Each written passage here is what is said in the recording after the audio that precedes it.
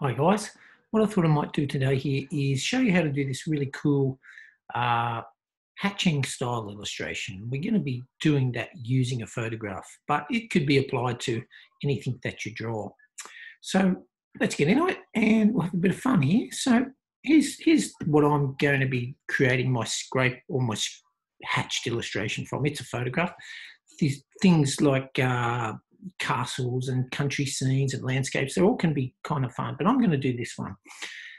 So before we start, I'm on a new layer, and what I need to do is create a brush. Now, creating a brush, obviously, we have a whole bunch of brushes that come in Photoshop, all sorts of brushes. There's more than you can shake a stick at. But what I'd like to do, and if you'll see what I'm doing, is what I'm going to do is I'm going to create a very small little line here. I'm going to draw a series of sort of straightish lines. And it really doesn't matter if yours are not perfectly straight. Gives it a bit of character. And as you can see, I'm pretty hopeless at drawing straight lines, but essentially that's what I'm doing. Okay, so there's what I'm going to call my brush. And it's on that layer. So I've just drawn a few straight lines.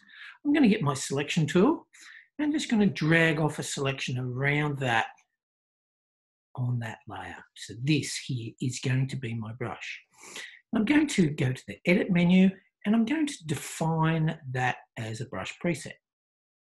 Beautiful, define as a brush preset. And there it is there. You can give it a name. I'm not going to. I'm going to say okay. Now I'm pretty much done with that. I can delete it and Command D to deselect. Oops, deselect. And my brush is going to look like that, which in and of itself is very cool. Um, but that's not what we're after. We need to set this brush up to behave in a particular way. So I'm going to change a few settings in my brushes. Now, the first time you play with brushes, and it can be a bit daunting, but from my experience, these top three are very much the go-tos. There's other things you can do, but for my money, one, two, and three will give you the most bang for your buck. So starting from the top, we have something called spacing. And as you can see, if I adjust the spacing of a brush, it, you know, I get this sort of look. And that's going to be what will happen when I paint with my brush. Okay, so that's sort of the look. Okay, maybe I'll have that. Just a bit of spacing. I might come to the second one down, shape dynamics and size jitter. So having the brush profile just jitter in terms of its size, I can have them all the same size or they can be a bit more random. And so that's probably something to do there. So also in the second setting, I might change my angle and I can see that, yes, this is starting to feel a little bit more like what I'm after. And maybe the third one maybe have a little bit of scattering. So they're not all on the line, they're all a bit scattered.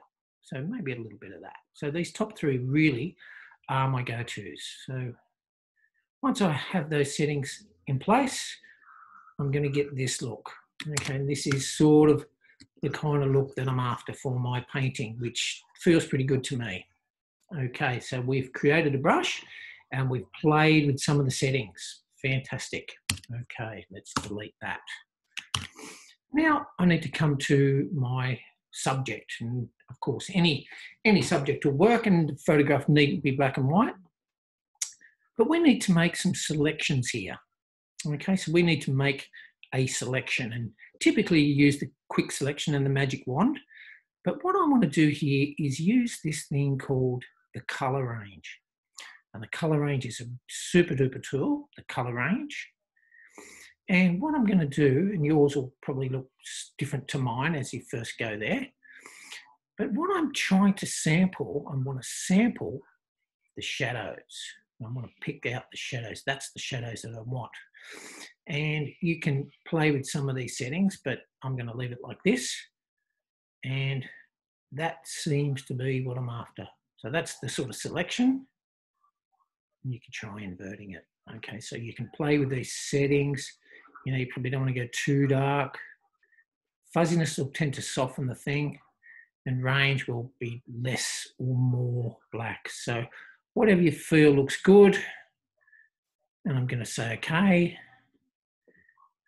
and invert it. I'm going to say okay. So now I feel like I've got a selection of the shadows.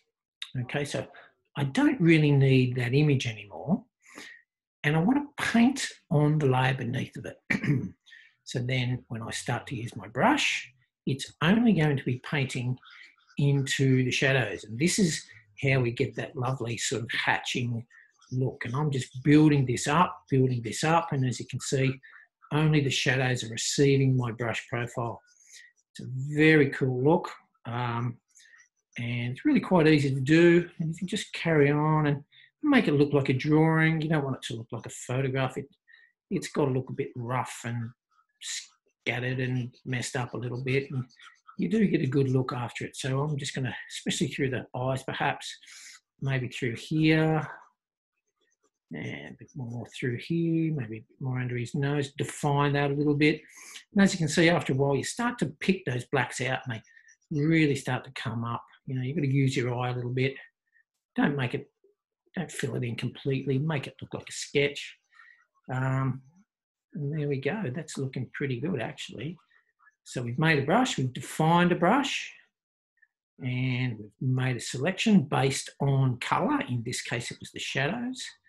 And I'm going to say deselect, Command D. There's my sketched illustration. Really easy, really quick to do, and very effective. Good job, everybody. Look, I hope that's been helpful, and uh, let's see what you can do. I'll see you in class.